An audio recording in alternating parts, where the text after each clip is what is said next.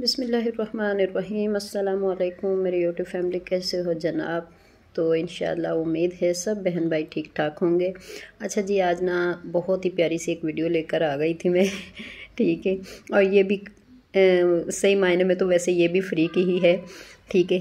तो कपड़े तो अभी बहुत सारे पड़े हुए हैं सिलाई करने वाले, लेकिन मुझे आज ये जो काम कर रही थी ना मैं, तकरीबन ये मैंने दो से तीन महीने पहले जब नई नई सर्दी शुरू हुई थी ना तो मैंने अपनी ये मेरी शॉल थी।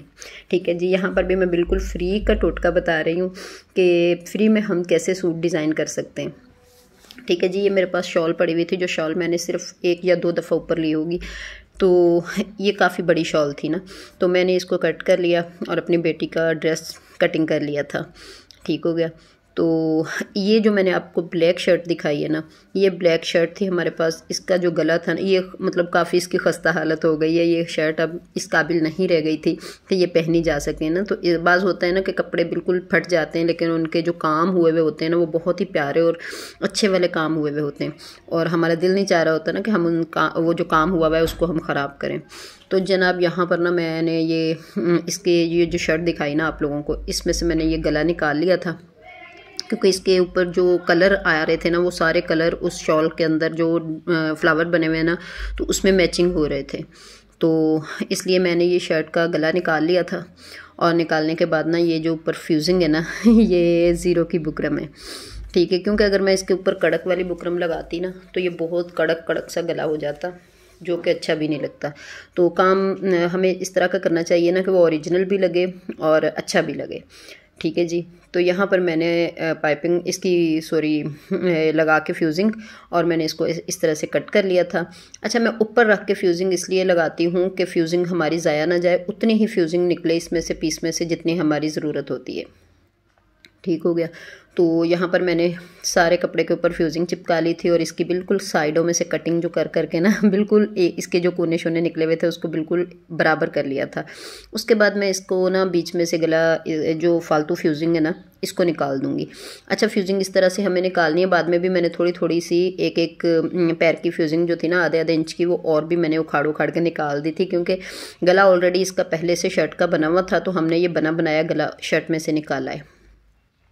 ठीक है, अगर मैं इसी तरह दूसरे कपड़े के ऊपर शर्ट इसको रख के गले को ऊपर अटैच कर दूँगी ना तो वो फिर अच्छा नहीं लगेगा, क्योंकि थोड़ी थोड़ी सी साइडों में से ये जो नज़र आ रही थी ना फ्यूजिंग तो ये बुरी लगे मतलब बुरी लगेगी।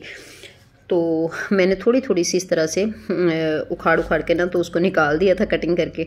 और जितना मेरा गला पहले से ऑलरेडी बना हुआ था ना, उसको मैंने वैसे ही मतलब वही शेप और वही तरीकाकार वही और मतलब ऐसी, इसी तरह लग रहा था कि इसी सूट के ऊपर कढ़ाई हुई हुई है। इस तरह से इसको लुक देनी है शर्ट को कि बिल्कुल पता ना चले कि हमने अलग से ऊपर गला लगाया है। वैसे ये कोई महँगा वाला सूट नहीं था, लेकिन ये बन के बहुत प्यारा हो गया था। ठीक है जी। तो खैर, यहाँ पर मैंने इस तरह करके ना सारे कट पीस इसका करके ऊपर से जो गला था ना, उसके निकाल लिए थे। तो अब मैं इसको शर्ट के ऊपर रख के ना, पहले पिन लगाऊँगी। पिन लगाने के बाद इसको अटैच कर दूँगी। अच्छा जी, बाकी ये कि मेरी कुछ बहनों, बहन भाइयों ने ना मुझे जैन माज का बोला था, अब आप लोग देख सकते हैं, मैंने जैन माज जो है ना वो हटा दिया है और इसकी जगह पे मैंने इस तरह से कपड़ा सा बना लिया है, जिसके ऊपर अब मैं प्रेस करती हूँ। अब मेरे बहन भाइयों को कोई एतराज़ नहीं होना चाहिए।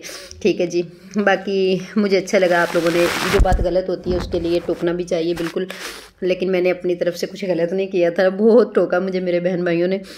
चलो जी, खैर, ये सब तो चलता ही रहता है, ज़िंदगी का हिस्सा है।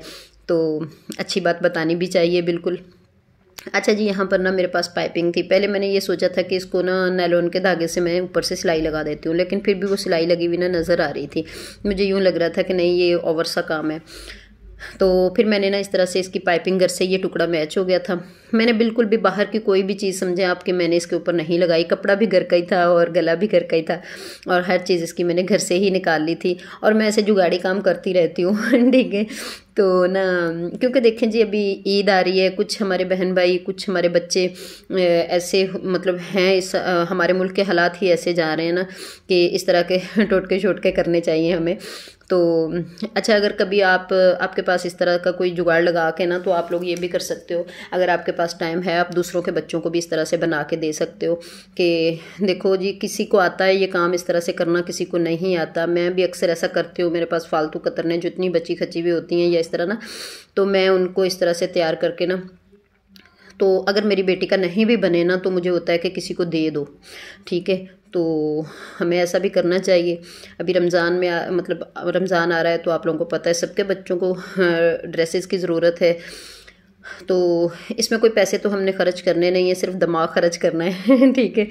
तो खैर जी, यहाँ पर ना, और बिगनर बच्चियाँ जो, हमारी नई बच्चियाँ हैं, जो वो भी, ये काम बड़ी आसानी से कर सकती हैं, क्योंकि इसमें कुछ भी मुश्किल नहीं है। अच्छा मैंने इसके ऊपर सारे कट थोड़े से कट लगा के ना, उसके ऊपर इस तरह से मैंने पाइपिंग लगा ली थी। पाइपिंग का मैंने फालतू कपड़ा जो था ना, वो मैंने कटिंग कर दिया था। कटिंग करने के बाद इस इसके ऊपर मैंने हल्का हल्का सा पानी वाला हाथ लगा के ना इस तरह से मैंने इसको इस्त्री कर लिया था। ठीक है जी? इस्त्री अच्छे से करके ना, इसको मैंने गला इसका थोड़ा सा बड़ा था क्योंकि वो शर्ट बड़ी थी। और बेटी मेरी अभी छोटी है तो उसका नेक जो है ना, मुझे थोड़ा सा छोटा रखना था तो मैंने इसको पानी लगा के ना, उसके बाद मतलब थोड़ा फैलने से बचाया था। गले को आप थोड़ा खोल के फैला के इस्त्री मारेंगे ना तो वो गला बड़ा हो जाएगा। अगर आप उसको थोड़ा थोड़ा सा तंग रख के इस्त्री लगाएँगे ना तो वो जितना तंग आप करना चाहेंगी वो कर जाए मतलब उतना हो जाएगा। यहाँ पर आप देख लीजिए, गला बिल्कुल ऐसा हो गया कि हम बाज़ार से लाए हों, ठीक है? यहाँ पर मैंने जी इसके ऊपर रखा। मैंने वैसे पिन लगा पिन लगा ली थी। आप लोग चाहो तो इसको पहले यूएच के साथ ज्वाइंट कर लो, अगर आपसे काबू नहीं आ रहा, लेकिन मैंने कुछ भी नहीं किया था। मैंने सिर्फ़ सेंटर में एक पिन लगाई थी, जो मैंने बाद में निकाल दी थी। ठीक है, उसके बाद क्रेस तो ऑलरेडी हमारी शर्ट की बनी हुई थी।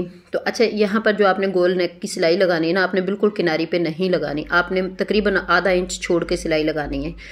ठीक है, और ये जो पिंक सब बना हुआ है ना बार्डर मैंने इस पिंक बार्डर के नीचे नीचे लगाई थी, ऊपर नहीं लगाई थी, क्योंकि उल्टी साइड में जब हम ये बड़ा हुआ कपड़ा होता है ना, इसको हमने दो तीन कट लगा के ना, इसको हमने फोल्ड करके तो तुरपाई करना होता है।